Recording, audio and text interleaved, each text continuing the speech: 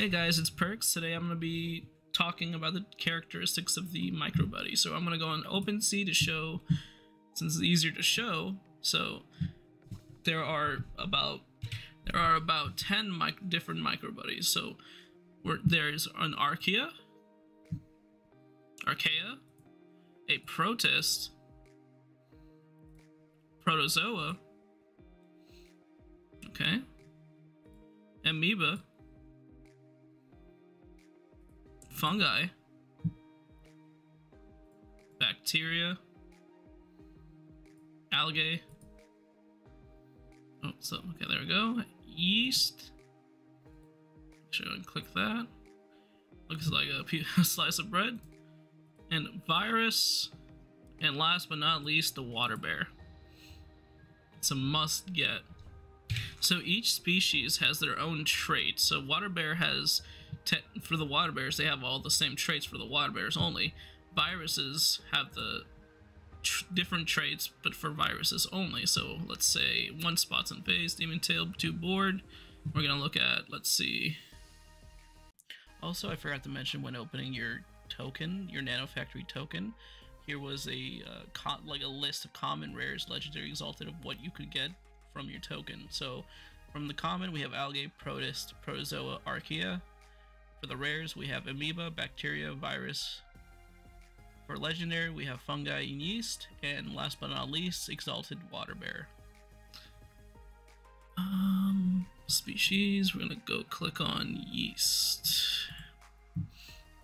And then we click on yeast.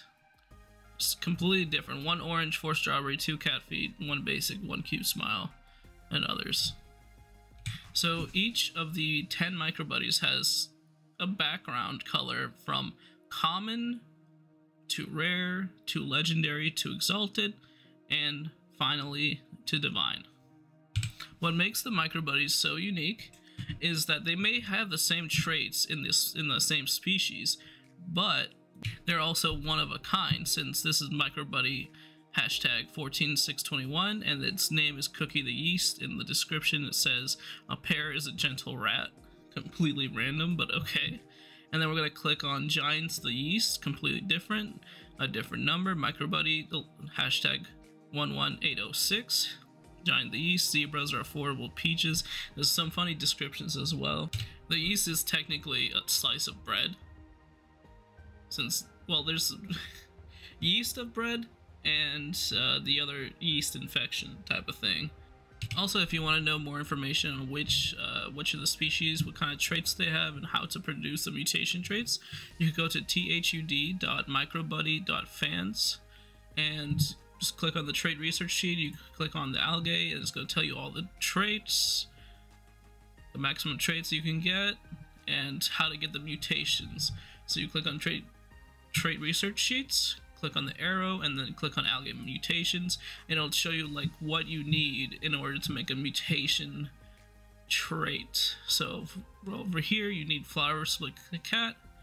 In order to get flower split cat you need the nine flower gray cat and the five green cat ears. I'll show you like a demonstration when i'm playing the game in, uh, and then next time but it's completely helpful. It's it's like a it's like a whole cheat sheet